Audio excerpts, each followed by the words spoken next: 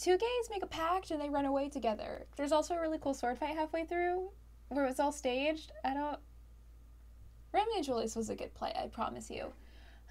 Honestly, the same thing I said last video applies. Maybe the real treasure we found along the way was marriage and a triangle genie and whatever the fuck Citron was doing in the mixed cast stage play. Honestly, I've never known the plot of How Wonderfully Picturesque, but Taichi's always had a really cute character. Also, Homare did a great job in that mixed cast. Anyway, yeah, same thing I said last video. Motherfucker Sim so hard he lost his damn halo and didn't realize he had a gay lover the whole time.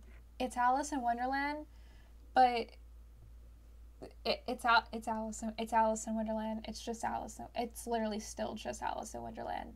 There are two cats and they are for sure on a fucking adventure to get those damn sardines with a lot of cat punts in the way. Really emo dude adopts his kitty finds because that's that's normal. That's just normal. Also, Barry's performance in the stage play was amazing. We say it's a Homare lead, but Hisoka really stole the show, and I hate that for him. I fucking hate that. Gay, sad, sad and gay, G- gay and sad. Every time I see this play, fucking flashbacks. What the fuck? They are two pirates. They're gonna find this damn treasure. There's also someone I think who's evil on their ship. I've read this story now. I have read this story officially, but holy shit, this is the only thing I remember is the three seconds that we get of Madoka and Muku interacting honestly, I'll never fully understand exactly what the play was trying to prove, but the stage play does a really good thing about fighting your inner demons, which I think is kind of cool. Gay, gay vampires. Why is the ending like that? They should have, they should. He should have bit him. He should have bit him and brought him. We should have gotten the happy ending. I. A man lies so much that he ends up adopting a kid because of how much he lies. Dead ass honestly, I'm never gonna know what First Crush Baseball or Love Out of Left Field, whatever you want to call it. I'll never know what it's about. But I'll always appreciate that play. Because anything for you, Kumon. As I said last video, Zombie wants to beat up his zombie dad. It's the Phantom of the Opera, but significantly gayer, and honestly, a little bit better because the original Phantom of the Opera is kind of weird if you think about it too much. Okay, you know what?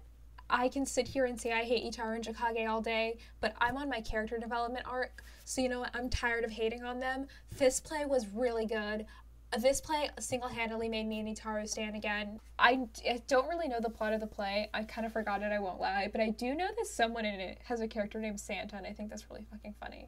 Okay, Fire Painter Fist is literally about two kids who fucking want McDonald's so bad they're willing to fight for it. Okay, Die by the Sword is actually a really nuanced and sad play, but the weird subplot about Azuma and Homare's characters falling in love is really cute, but also feels really out of place for such a weird, dark, gritty storyline about sword fighting. How to get. Okay, you know? We're not playing this game today. I've actually still not read this event story. I'm sorry, I know. But from what I have heard, it is about apparently this really arrogant guy finds this really cool guy who helps him out and they like they don't actually fall in love but they like basically fall in love and that's a beautiful thing that's beautiful i love that floral prince so basically, there's this magical flower. I really like Fallen Blood simply because they really explore the downside of being a hero slash vigilante. And I mean, I've seen comics and stuff talk about it, but that's just me going into a little nerdy moment, and I will not be doing that here. But I really, really love this play, and I think it's one of the best plays that Liber has written, like actually play wise. Risky game hurts my head. Risky game gives me a headache, but man loses his wife, goes gay, and gambles. Magician's Pure Love is basically about this guy who simped so hard he became a magician to be like her. Wink, wink, nudge, nudge. And someone lied and stole a doll, and he never saw his mentor again. Plus Three Ghosts is basically a glorified coming of age story with Ghost, but I think it really shows you the sadness and the fleetingness of what summer can bring, and I think that was really nice to touch on. Akebonoso, the story was great but the play was just fucking hilarious. Unironically, really funny fucking play. A hotel, but it travels through time for literally no reason. And it's about watching yourself become lonely and accepting it. Because this is Azuma. Of course it's about that. I hate you, Azuma. I literally I literally don't know the plot of it. Never been told. Probably will never know. I'm not reading the story. Not not now. I'm staying far away from that. Still never read Run Around the Fields, but I heard it has something to do with Caesar's brothers.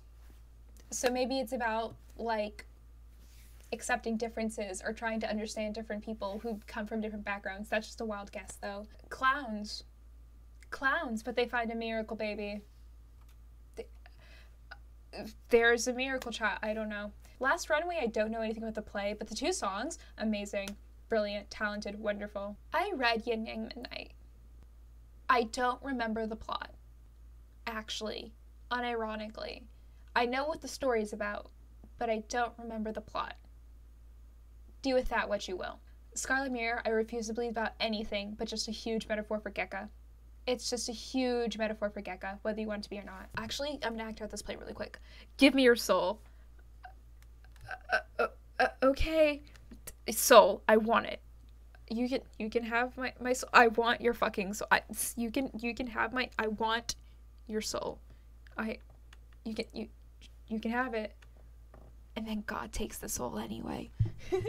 okay, all jokes aside, Immortal Crow is literally just about a guy who does not have any confidence unless he's extremely drunk.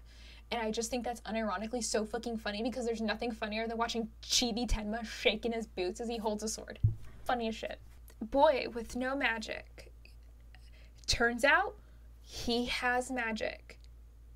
There are dragons, by the way. I'm not like sure exactly what this play is about simply because I've never really read it, read it, but I think it has something to do with acting. Doesn't Azuma play like a woman in it or something like that. Not that that's surprising for him. Or like he plays a cross dress or something, right? The play has something to do with some form of acting. I just can't think of the style of acting right now. You know, I should be explaining like a joking plot summary of Phantom Thief, but I'm just mad that Juza and Muku canonically in this play only get one moment on stage together. What the fuck was that, Liber?